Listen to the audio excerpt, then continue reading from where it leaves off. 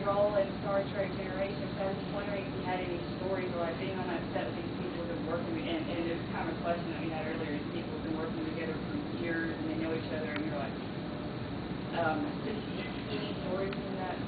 Well, you know, I mean, when I was a boy, uh, I was a fan of the original series, you know, and my character was supposed to have been, had, had idolized uh, uh, Scotty and, and, you know, Chekov and the gang when he was just starting out at the academy, right? So they were my heroes when I was 10 years old, so that was, that was easy, you know. And I didn't think much about it. I got the audition for that part and uh, Star Trek movie, and uh, I had a fax machine, the thing came over the fax. And I thought it was going to be like some broccoli-headed guy, you know, some guy with stuff sticking out of his head and green skin and everything.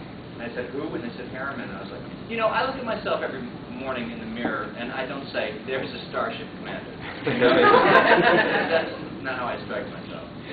But anyway, so I thought, okay, I'll do it. And then um, when I got on that set and I saw how big that captain's chair is, that's when I got a little bit shaky, like, I'm on It's a big chair, and I was like, I I have to at least attempt to fill that up.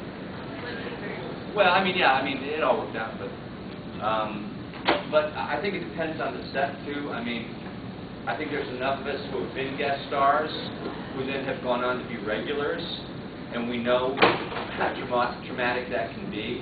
It just depends on the group of people. So every now and then you run into a group, it's just, it makes you feel right moment, you know. And Jimmy Doohan was especially, I mean, you know, he was like your uncle.